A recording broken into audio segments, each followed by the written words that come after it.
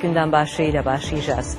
Sayın seyirciler, Türkiye ile Amerika Birleşik Devletleri arasındaki vize krizinde yumuşama sinyali geldi. Amerika Birleşik Devletleri temsilcilikleri vize konusunda sınırlı hizmete başladılar. A Haber ekiplerinden, A Haber muhabirlerinden son bilgileri alacağız. Erdinç Öz Yılmaz başkent Ankara'da, Ragıp Soylu Amerika Birleşik Devletleri'nde. Önce Ankara'ya gidelim ve Erdinç Öz Yılmaz'dan ondaki son notları alalım. Erdinç.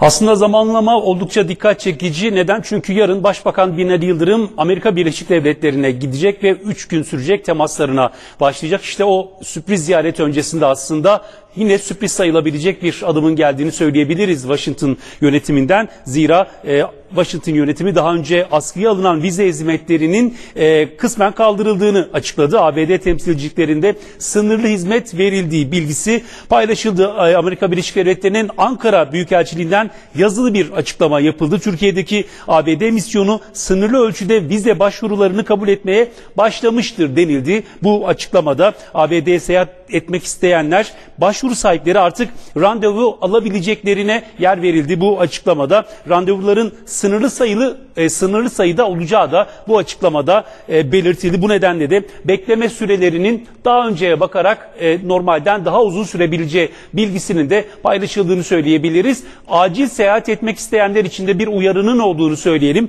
bu açıklamada acil seyahat durumunda yapılacaklar konusunda da e, buna göre acil seyahat etmek zorunda olan Türkiye Cumhuriyeti vatandaşlarının en yakın boş tarihi seçmeleri ve ardından da gerekli işlemleri yapmaları istendi ve e, seyahatlerinin neden acil olduğu konusunda da açıklamalarında yer vermeleri belirtiliyor. Az önce de söylediğimiz gibi Başbakan Binali Yıldırım yarın Amerika Birleşik Devletleri'ne gidecek ama işte bu ziyaret öncesinde vize krizinde bir anlamıyla yumuşama sinyali verildi ABD yönetimi tarafından.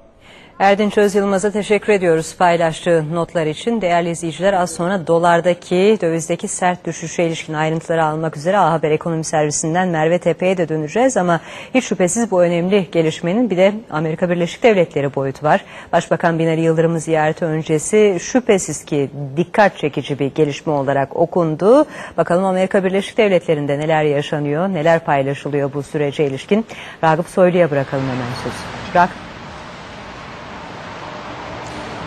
Evet Banu yaklaşık iki haftadır Binali Yıldırım'ın ziyareti öncesinde hem Amerikan tarafı hem de Türk tarafı bu konuda ilerleme sağlamaya çalışıyordu. Biz geçtiğimiz hafta sonu bir açıklama bekliyorduk Amerikalılardan. Çünkü hem Türk tarafı hem de Amerikan tarafı böyle bir açıklamanın geleceğinden bahsediyordu. Fakat son iki telefon görüşmesi yani Çavuşoğlu ve Amerikan Dışişleri Bakanı Tillerson ile son üç günde gerçekleşen iki telefon görüşmesinde bu konuyla ilgili olarak son nokta koyulmuş gibi görünüyor. Tabii Türkiye fazla jestler yaptı Amerikalılara. Hatırlarsanız bir Amerika delegasyon Ankara'ya gelmişti. Ve bu ziyaret içerisinde Amerikalılara tutuklu bulunan Türk çalışanlarla ilgili olarak suçlamaların bir kısmı teslim edilmişti. Ve aynı zamanda bu üç kişi dışında daha fazla kişinin soruşturma altında olmadığına dair de ellerinde bulunan dosyalara dayanarak bir güvence vermişti Türk tarafı. Ve aynı zamanda da Amerikan Büyükelçiliği uzun süredir şikayetçi oldu bu Amerikan vatandaşlarına Türkiye'de bulunan hapishanelerde ziyaret edemedikleri ya da ailelerinin bunları göremedikleriyle ilgili olarak da bir adım atılmış ve Amerikalıların konsolosluk hizmeti sağlayabilmelerini yani bu tutuklu kişileri ziyaret edebilmelerine Türk tarafı izin vermişti. Tüm bunların ardından Amerikalıların da bir adım atması bekleniyordu. Türk tarafı bunun için Amerikalıları zorluyordu. Ve bu adımda Binali Yıldırım'ın çarşamba günü ABD Başkan Yardımcısı Mike Pence ile yapacağı görüşmenin öncesinde gelmiş oldu. Sınırlı bir adım atılmış oldu ama biz uzun vadede daha doğrusu orta vadede bu krizin tamamen aşılacağını bekleyebiliriz. Amerikalılar en çok Metin Topuz'un adli kontrolle serbest bırakılması ya da ev hapsine koyulması için bastırdı. Fakat Türk tarafı kendilerinin yargıyı kontrol etmediğini, Türk tarafı e, Türkiye'de yargının bağımsız olduğunu dolayısıyla kendilerinin anlaşmaya böyle bir imza atamayacağını, böyle bir söz veremeyeceklerini söylediler ve nihayetinde de böyle bir adım gelmiş oldu diyelim ve söz sana bırakalım. Ragıp teşekkür ediyoruz paylaştığın bilgiler, notlar için. Vize krizinde yaşanan gelişme piyasalara ise saniyeler içerisinde yansımaya başladı. A Haber ekibinden Merve Tepe'den alacağız bu kez ayrıntıları. Merve.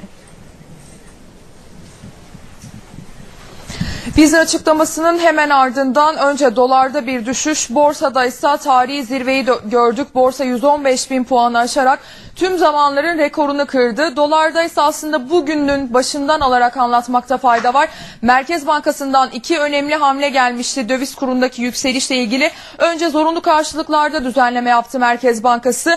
1.4 milyar doları piyasaya sürdü ve Türk lirasını e, kısarak aslında TL'nin değerini artırdı ve piyasadaki talebi de artırdı. Yine reskont kredilerinde geri ödemeler özellikle ihracatçılar için 3.70'te sabitlendi. Aynı zamanda Türk lirası cinsinden de ödeme yapabilecek ihracatçılar hemen bu iki kararın ardından 3.88 ile başlamıştı güne dolar. 3.85'e kadar düştüğünü gördük. 3.84'e kadar geriledi. Vize krizin e, viz- vize ile ilgili açıklamadan sonra ise şu an itibariyle 3.83 seviyesinden işlem görüyor. Aslında e, genel bir çerçeveye bakmakta fayda var. Merkez Bankası'nın attığı adımlar önemli ama e, özellikle vize krizi, Almanya ile ilgili gelişmeler piyasayı etkileyen asıl önemli unsurlar. Yine geçen hafta hatırlatmak istiyoruz ki e, Almanya'nın e, kredileri kıstığına dair Türk bankaları bir haber gelmişti ve ondan sonra dolar yükselişe geçmişti. Yine bu vize krizinin ardından Amerikan dolarında yükselişi görmüştük. Yani aslında esas olarak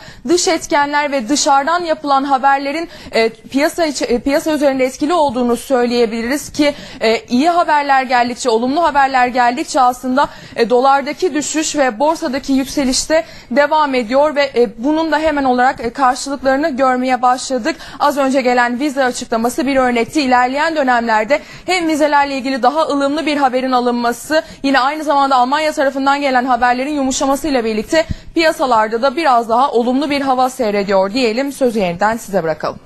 Merve Tepe'ye teşekkür edelim. Ekranlarınıza da zaten yansıyor. Doların 3.83'e kadar indiğini söylemiştik. 3.82'yi de test ettiği bilgisini de paylaştık.